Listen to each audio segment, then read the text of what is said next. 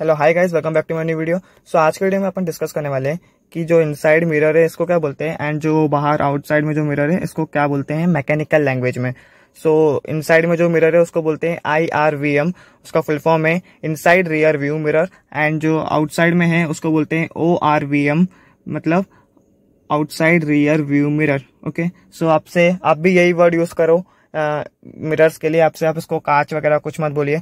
सो so, ऐसे ही informative videos के लिए फटाफट चैनल को सब्सक्राइब कीजिए एंड ड्राइव सेफ़